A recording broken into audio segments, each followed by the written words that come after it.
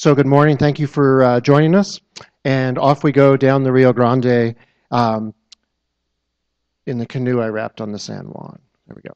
So the um, environmental education need. So how many people know the our friend over here on, on your left? Raise your hand if you know if you can name who that is.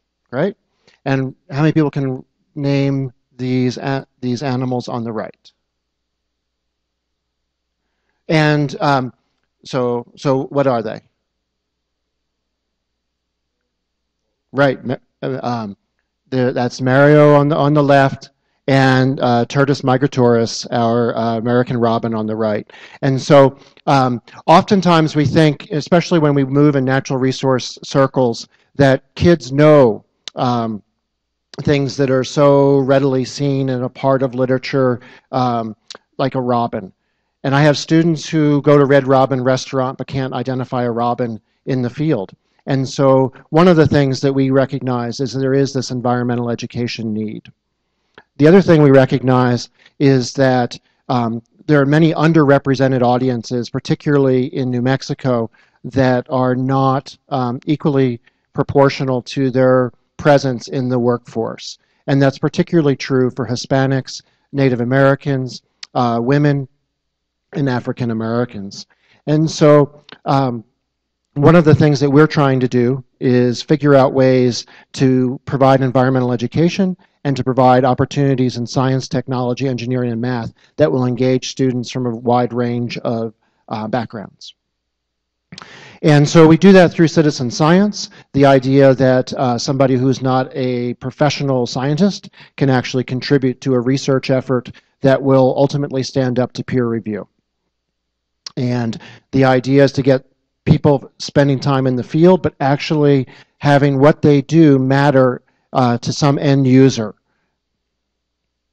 And there are small scale um, projects that are local, like this one in New York City, where people identify, or when they see a coyote, they report it um, in a simple system.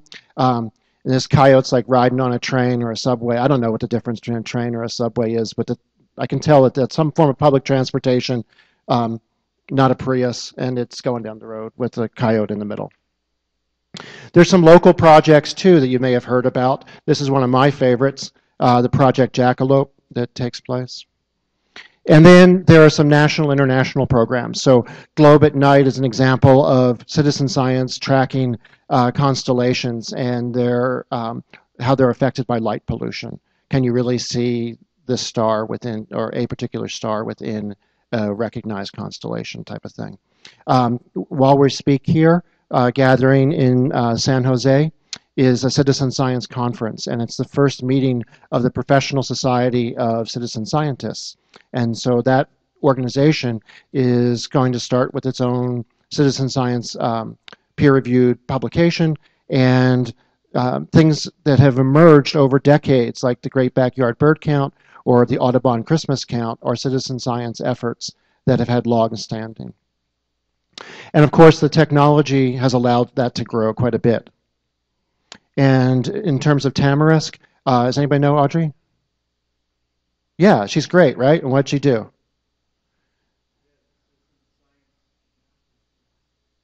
On what?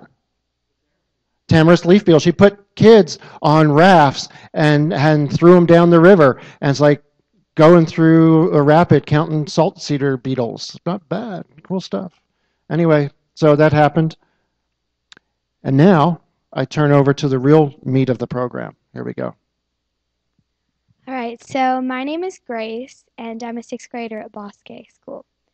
So we call the Bosque the Bosque because it means forest in Spanish.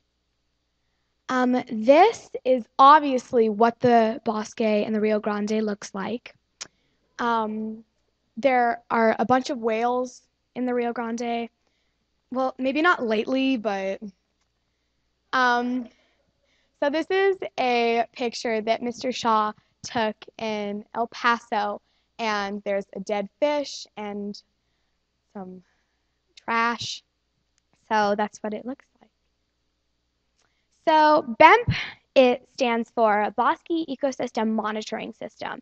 And BEMP is where we get kids from all over New Mexico and we get them to do hands on learning with science. So we have um, like what our mission is we want to restore the Bosque's beauty and make sure it, it stays like that. Okay. Hi, so I'm Lauren. I'm also a sixth grader at Bosque.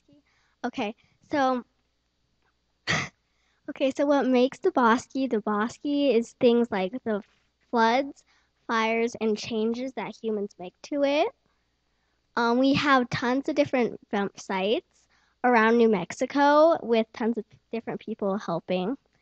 So we have about 9,997 BEMP people helping, um, plus us three here. And we also have partners and people who sponsor us and help us. And people also use our data, such as NM State, which they take our data to use it to make, like, answer questions about the Bosque.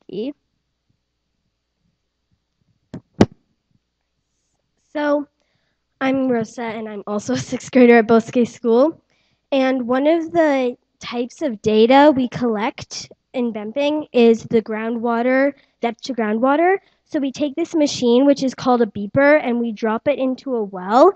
And when it makes this sound, we know we got water. And so we take the measurements and we track from site to site and from month to month. And this is really important because cottonwood roots only go down three meters, and we need to make sure they're getting enough water. So these are some examples of depth to groundwater. So as you can see at Oka- Ohkay Owingeh, the groundwater table is very close to the surface. And in some of the local sites like Alameda and Montano and Savannah, they're um, a lot farther down. So another another BEMP thing that we do is we take leaf litter bins and we collect the plant matter inside of them and send them away so scientists and students can sort them and see how many exotic and native plants are in that area of the bosque. Um, another BEMP thing is the surface active arthropod traps. So the arthropod will walk along the ground and then they will just fall into the cup where we collect them and this is important because we can figure out the diversity and abundance of arthropods in the bosque, although you occasionally find a dead lizard in the cup. so, um, one of the examples of the arthropods we trap are the carabid beetles, and these beetles are important because they in, where they are that indicates that there's moisture in the soil. So at Ohkay Owingeh, where the water table is higher, there's more of these beetles. And also, Bosque, um, BEMP, sorry. BEMP is currently monitoring the number of tamarisk leaf beetles at our sites. So the green dots indicate where they are present, and the red dots indicate where we have checked but they are not present. Okay. So we have different grade. Well, we have all grades working with this, and the different grades do different jobs according to their skill level. Um, so the skill level of the student will be matched to the skill level of the job. Oh, right. Okay. So I like Bosque because sorry. Okay, I like BEMP because it's kind of connecting with the Bosque and you just really get the feel of the nature and it's really nice. Um, BEMP has been very meaningful to me because, well, it's really a powerful feeling to be out there in the field collecting data that really, really matters for our bosque. Um, BEMP is a really good way to get started of being a scientist. When I grow up, I want to be a scientist. So this was like introducing me to science and how I can get involved in it. Okay, so in 2001, um, a sixth grade Bosque student named Thomas Nichols, right? Okay.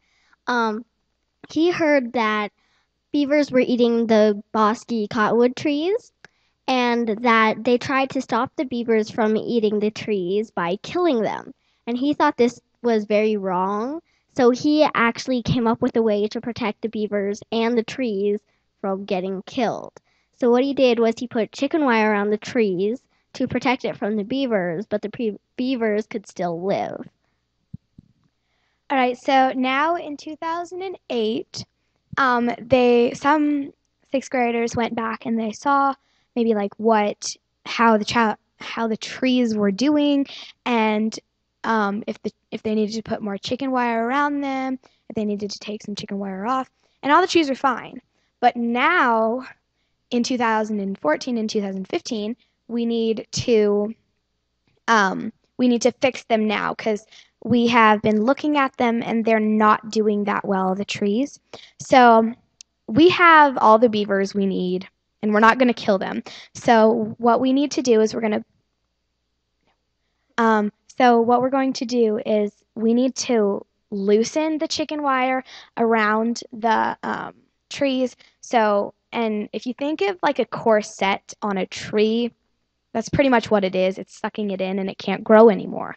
So what me and Lauren are going to do is we're going to go and we're going to check on them and we're going to do the hands-on working.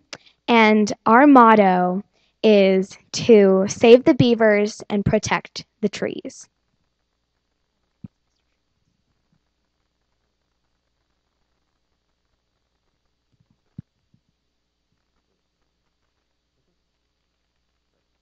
And so as we uh, jump from this, Thomas Nichols is now in the Air Force. He went to the Air Force Academy. He's flying jets um, for the Air Force. Um, Darren McDevitt, who came in in 2009, now has a wildlife degree uh, from Montana, and she's up in Montana working grizzly bears.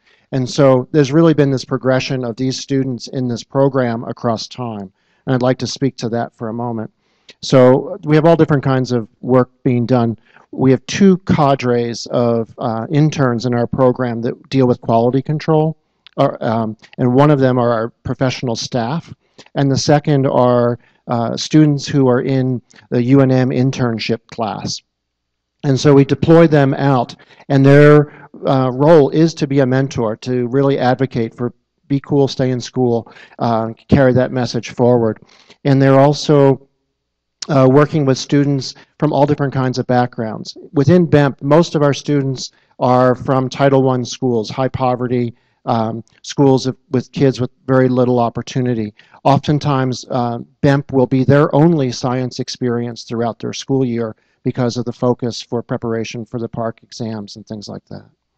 Um, we looked also at our paid staff interns, um, both high school and college and students who did research with us for an extended period of time of at least a semester. And with it, and these are different than the UNM high school or UNM college seniors and graduate students. And so uh, most of them say that we help motivate them to go into a natural resource field.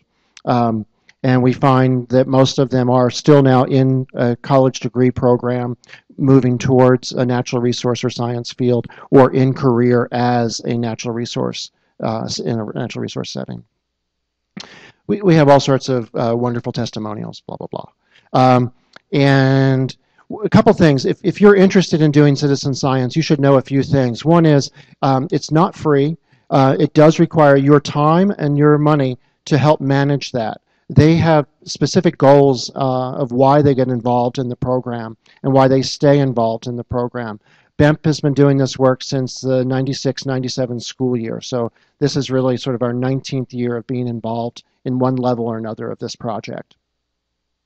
Um, and so reasons that people actually get involved, why teachers um, choose to have their classes, um, it really comes down to the hands-on learning in a field setting, opportunities for real science that Rosa referred to a moment ago, and the opportunities to study environmental issues and awareness. There's also other other pieces to that, but they really want to do real science. The teachers want it, and the kids want it. Um, and what gets in their way? Well, for some, uh, we asked, what's going to keep you from getting involved in this next year? And and these are studies that we've done across multiple years. Uh, but travel and transportation becomes a big problem. So we've uh, had partners like uh, Bernalillo County, um, the Albuquerque Community Foundation, the Middle Rio Grande Conservancy District that have helped to fund buses to get kids out into the field. Most of our funding is actually providing deliverables to agencies, um, and that it's being done by um, K 12 students is kind of secondary. Um, if you're curious about what else our high school and our college students do, if you're in Albuquerque on Tuesday, 3rd of March, uh, from 4 to 7.30ish, we will be doing a what we call a Crawford Symposium, which celebrates uh, Cliff Crawford' uh, work was a founder of this program, BEMP. Um, and we'll be um, sharing the stories of people making a green trail, high school students and college students and graduate students who are doing research within BEMP and in partnership with BEMP and others. And we're making a difference one student at a time. We're looking for action, resilience, and community um, in that way that um, we really want it to have meaning for kids beyond the classroom, and we want it to provide an opportunity for them to engage in science across time. We have lots of different partners. Um, I'm going to go through this slide quickly because if your name should be on it and it's not, I apologize. But you didn't notice it wasn't on. It was further down. You just didn't see it. Okay, so now, now we're back to questions. Or do we still have how much time we have?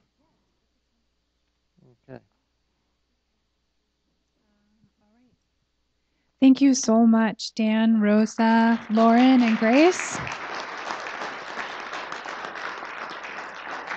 We have just a few minutes for questions. So, So is the BEMP program um, just in the Bosque School? Is it in other public schools?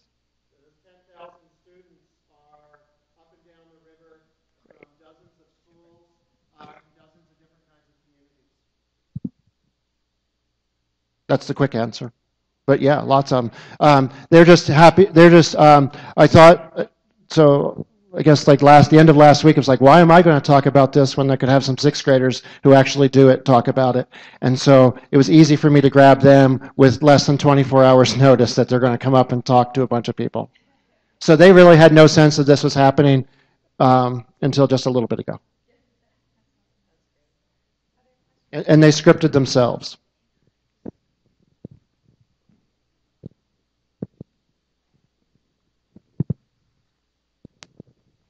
Um, so you ladies mentioned some specific projects that you were working on with the beavers. Are there opportunities for the students to do independent research for science fair projects, that type of thing? Um, yes, there is. We are actually going to have some of the students from other schools be doing it too. So they, like students, will have opportunities to get in projects and do the hands-on, like getting the chicken wire and putting it around. So, yes.